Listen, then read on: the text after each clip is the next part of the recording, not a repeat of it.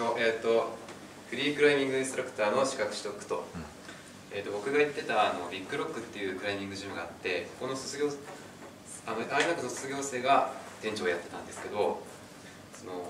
フリークライミングインストラクターの